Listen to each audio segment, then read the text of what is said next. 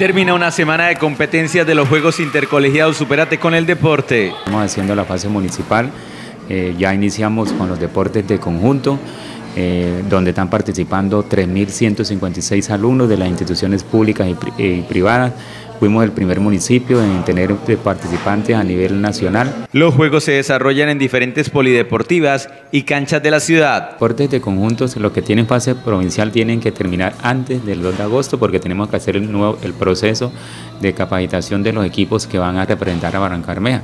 Hay unos deportes de conjuntos como el softball, el béisbol y el rugby que no tienen fase provincial, esos pasan directamente a la fase departamental. Fútbol, microfútbol, voleibol y baloncesto son las disciplinas que se disputan. Como fútbol, balonmano, eh, voleibol, baloncesto, para que representen a Barranca Bermeja en la siguiente fase, que es la fase provincial que se va a realizar en, el municipio de Sabana de Torre del 8, 9 y 10. Luego de esta ronda dejará a los equipos clasificados a la eliminación directa.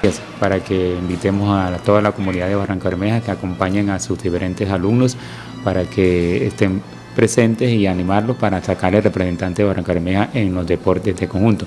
Ya la siguiente semana vamos a tener los diferentes deportes individuales como ajedrez, tenis de campo, BMX, atletismo en las diferentes categorías. En los Juegos Intercolegiados participan instituciones tanto públicas como privadas.